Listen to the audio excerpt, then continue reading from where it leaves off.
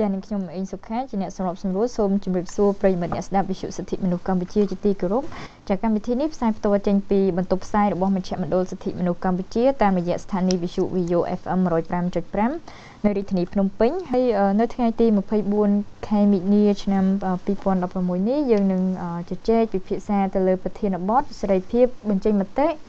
លើបញ្ហារស័ព្ទតាមបណ្ដាញសង្គមចាដែលយើងមានវាគ្មិនពីររូបនៅក្នុងបន្ទប់ផ្សាយចាទី1គឺលោកសូសិទ្ធិមន្ត្រីផ្នែកទំនាក់ទំនងនិងតស៊ូមតិនៃមជ្ឈមណ្ឌលកម្ពុជាដើម្បីប្រព័ន្ធផ្សព្វផ្សាយឯករាជ្យចានិងទី2លោកយឿនសុធិរាជាសមាជិកក្រុមអ្នកវិភាគឯករាជ្យវ័យក្មេងចាសូមជម្រាបសួរលោកវិក្មិនបាទជម្រាបសួរបាទចាបាទសិទ្ធិសេរីភាពក្នុងការបញ្ចេញមតិនេះគឺត្រូវបានធានាដោយច្បាប់អន្តរជាតិជាពិសេសគឺ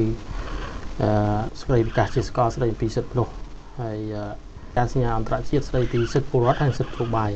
ហើយអ្វីដែលសំខាន់ជាងនឹងទៀតគឺមានចែងនៅក្នុងមាត្រា41នៃរដ្ឋធម្មនុញ្ញកម្ពុជាហើយនិយាយថាពលរដ្ឋគ្រប់រូបមាន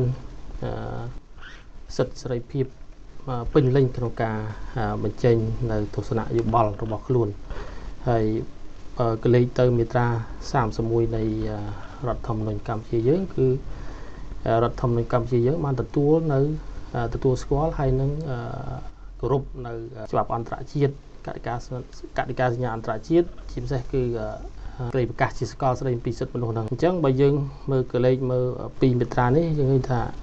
កម្ពុជាយើងក៏ទទួលស្គាល់ហើយនឹងគោរពសិទ្ធិសេរីភាពការបញ្ចេញមតិផងដែរហើយសិទ្ធិ សេរីភាពកម្មចេញចែកនេះគេនិយមន័យថាគឺជាសិទ្ធិរបស់បុគ្គលម្នាក់ម្នាក់ឬក៏របស់បុគ្គលឯកជនម្នាក់ម្នាក់ឬក៏ក្រុមណាមួយដែល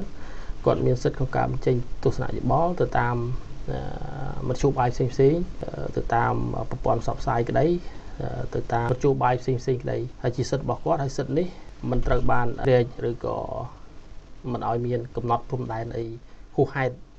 តែទោះយ៉ាងណាក្តីសិទ្ធិនេះអនុវត្តសិទ្ធិនៃការបញ្ចេញមតិនេះក៏ត្រូវគ្រប់គោលការណ៍នៃច្បាប់របស់ប្រទេសមួយមួយផងដែរដូចជានៅក្នុងធម្មនុញ្ញរបស់យើងក៏មានចែងអំពីការកំណត់សិទ្ធិសេរីភាពមួយចំនួនយើងដឹងហើយថាការអនុវត្តសិទ្ធិដើម្បីកុំឲ្យវាមានទំនាស់នឹងគ្នាគឺត្រូវ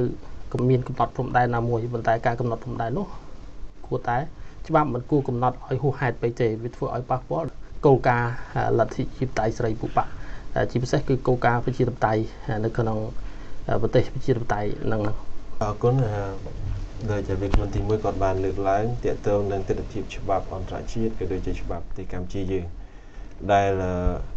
អឺដែលបានបង្ហាញថាសេរីភាពបញ្ចេញមតិជាសេរីភាពចម្បងរបស់មនុស្សបន្ទាប់ពីការទទួលព័ត៌មានគឺការបញ្ចេញមតិបញ្ចេញមតិគឺការសម្ដៅទៅលើការបង្ហាញនៅ opinion គឺការកំណត់ឬក៏ការបង្ហាញព័ត៌មាន ឬក៏ការបង្ហាញអំពីចំណាប់អារម្មណ៍តាមមធ្យោបាយផ្សេងផ្សេងក្នុងនោះមានការសរសេរការនិយាយការទំនាក់ទំនងការធ្វើបែបកាយវិការសពបែបយ៉ាងទាំងអស់រហូតដល់ប្រើប្រាស់សិល្បៈក៏មានដែរក្នុងមានការគូររូបផ្សេងផ្សេងជាដើមអញ្ចឹងការបញ្ចេញមតិនេះត្រូវបានទទួលស្គាល់ទាំងអន្តរជាតិទាំងស្រុកខ្មែរយើងដោយមានការការពារថែមទៀត ប៉ុន្តែយើងអត់មានច្បាប់ទេយើងអត់មានច្បាប់សេរីភាពទេតកតងទៅនឹងការបញ្ចេញមតិទេម្ល៉េះហើយវាធ្វើឲ្យមានភាពសពិចសពិលថាតើចំណុចណាដែលជាការបញ្ចេញមតិដែលធ្វើឲ្យប៉ះពាល់ហើយអាចនឹងទទួលនៅការចោទប្រកាន់តាមផ្លូវច្បាប់ប៉ុន្តែយើងមានច្បាប់ដែលនិយាយអំពីការបរិហាគេយើងមានច្បាប់តាក់ទងទៅនឹងការផ្សាយព័ត៌មានមិនពិតយើងមានច្បាប់ដែលនិយាយអំពីការបង្កាច់បង្ខូចគេជាដើម ចឹងទាំងអស់នេះវិញគឺមានន័យថាយើងមានច្បាប់រដ្ឋបတ်ការបញ្ចេញមតិប៉ុន្តែយើងមិនមានច្បាប់ណាមួយដែលក្រៅពីធម្មនុញ្ញរបស់យើងដែលឆេងច្បាស់ថាការបញ្ចេញមតិក្នុងកម្រិតណាទើបហៅថាខុសហើយការបញ្ចេញមតិគូមានវិសាលភាពគ្រប់ដណ្ដប់លើប៉ុណ្ណាទេអានឹងវាជាភាពផ្ទុយគ្នាបន្តិចហើយមួយទៀតខ្ញុំចង់និយាយថាសេរីភាពបញ្ចេញមតិបើយើងនិយាយអំពីសេចក្តីប្រកាសជាសកលរបស់ការសិទ្ធិជាតិ គេហ៊ាននិយាយរហូតដល់ថាមនុស្សអាចបញ្ចេញទស្សនៈការយល់ឃើញរបស់ខ្លួនដោយសេរីដោយគ្មានការជ្រៀតជ្រែកពីប្រភពណាទាំងអស់ត្រង់នេះបានបង្ហាញថាមិនត្រូវមានការរដ្ឋបတ်ទេមិនត្រូវមានការជ្រៀតជ្រែកមិនត្រូវមានការជះឥទ្ធិពលណាមួយទៅលើការបញ្ចេញមតិរបស់មនុស្សទេត្រង់នេះហើយដែលមានការការពារអន្តរជាតិហើយកម្ពុជាយើងជាជាហត្ថលេខីនៃច្បាប់អន្តរជាតិនេះហើយយើងទទួលស្គាល់ថារាល់ លិខិតទូទូបកដែលជាអន្តរជាតិហើយយើងជាប់លេខាហើយយើងទទួលស្គាល់ថាវាជាច្បាប់របស់យើងដែរដូច្នេះតាមសំអាងនេះចង់មិនចង់យើងត្រូវទៅគោរពដូចគ្នាប្រទេសខ្លះគេបើកសេរីឲ្យមានការរិះគន់ជាពិសេសគឺបុគ្គលសាធារណៈគាត់កាន់តំណែងពាក់ព័ន្ធនឹងការបំពេញតួនាទីរបស់គាត់អ្វីដែលពលរដ្ឋរិះគន់ទៅពាក់ព័ន្ធនឹងការបំពេញតួនាទីរបស់គាត់ពលរដ្ឋអាចមានសិទ្ធិសេរីភាពពេញលេញក្នុងការរិះគន់ ចា៎តែសម្រាប់ស្ថាប័នគួរតែបើកទលាយមែនតើមិនគួរចែងក្នុងច្បាប់ទេថាបើច្បាប់ព្រមទាន់របស់យើងបានកំណត់ចែកឲ្យមានទោសទណ្ឌក្នុងការរិះគន់ដូចជារិះគន់ស្ថាប័នតុលាការសេចក្តីសម្រេចរបស់តុលាការជាដើមឬក៏ក្រសួងណាមួយស្ថាប័នរដ្ឋគឺបើសិនជាយើងរិះគន់ជាប្រមាថអីជាដើមអឺ ជ័យប្រមាណត្រីរាជការអីច្រើនហ្នឹងវាអាចមានទោសទណ្ឌជាពិសេសជាដៅសំខាន់គឺស្ថាប័នរដ្ឋបើសិនជា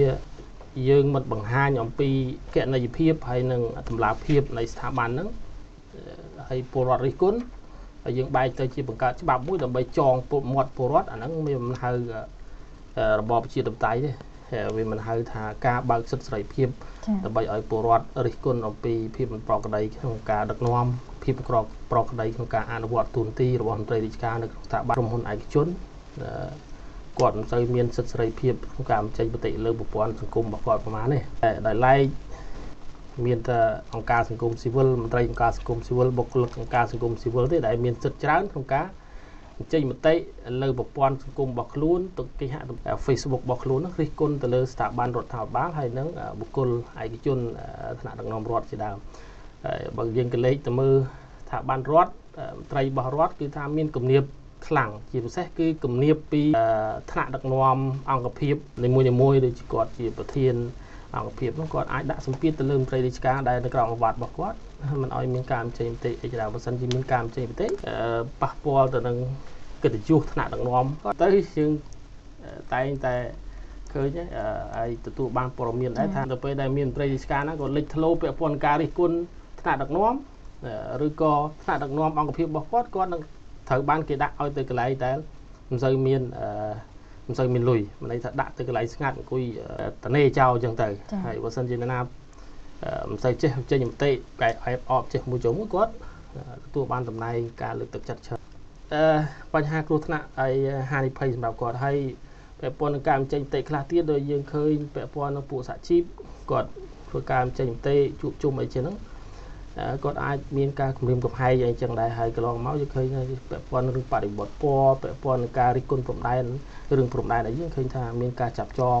ការគម្រាមកំហែងការប្រើប្រាស់ប្រព័ន្ធតុលាការដើម្បីគម្រាមកំហែងគាត់អីឃើញគាត់មានការភ័យខ្លាចភ័យភ័យខ្លាចខ្លាំងដែរហើយនេះជាសវត្ថភាពជាជាជាជាការគម្រាមកំហែងដល់សវត្ថភាពរបស់គាត់ពាក្យរិះគន់នេះដើម្បីធ្វើការលក្ខណៈវិបហាច្រើនជាងជាជាងការផ្ដល់អនុសាសន៍ អឺជាទូទៅខ្ញុំទន្លាប់ឃើញបរទេសគេប្រើពាក្យរិះគន់ដែរប៉ុន្តែគេបូកជាមួយអនុសាសន៍មានន័យថាធ្វើម៉េចដើម្បីកែប្រែចំណុចដែលមិនល្អហ្នឹងអាទៅនឹងភាគច្រើនអ្នកដែលទទួលបានពាក្យរិះគន់ហ្នឹងក៏អត់សូវប្រតិកម្មវិញទេគាត់អរគុណទៅវិញជួនកាលអឺខ្ញុំមិននិយាយថាពាក្យរិះគន់ទាំងអស់សុទ្ធតែមិនល្អទេខ្ញុំលើកមួយចំណែកទេប៉ុន្តែមួយបញ្ហាមួយទៀតនោះគឺដោយសារតែអ្នកដែលទទួលបានពាក្យរិះគន់នោះ គាត់ច្រើនតែយល់ឃើញថាពាក្យរិះគន់នោះជាការមួយដែលធ្វើឲ្យតម្លៃរបស់គាត់ធ្លាក់ចុះអឺនិយាយឲ្យចំទៅគឺនិយាយចំពោះបុគ្គលដែលមានឋានៈទូនាទីខ្ពស់ចា៎អឺគាត់យល់ឃើញថាពាក្យរិះគន់នោះស្មើនឹងការបកអាក្រាតគាត់ស្មើនឹងការបង្ហាញឲ្យឃើញនៅភាពអវិជ្ជមានក៏ដូចជាកំសោយរបស់គាត់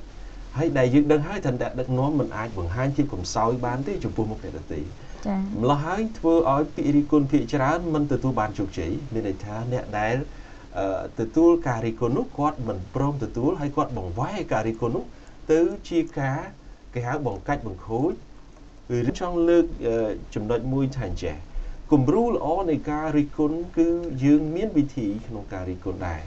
មានន័យថាការរិះគន់ទី1យើងចេះប្រើពាក្យ អឺដូចជាព្រះសម្មាសម្ពុទ្ធលោកថាត្រូវចេះប្រើពាក្យរិះគន់គេឲ្យចំពេលវេលា ពេលដែលគេសប្បាយចិត្តឬអីនេះដែលយើងគួរតែប្រើទៅទទួលជោគជ័យអានឹងទី1ទី2ប្រើឲ្យចំមនុស្សមានន័យថាតើបុគ្គលហ្នឹងគាត់ចូលចិត្តពាក្យរបៀបណាបើគាត់ចូលចិត្តភាសាផ្អែមយើងអាចប្រើភាសាផ្អែមប៉ុន្តែបង្កប់នៃរិទ្ធគុណ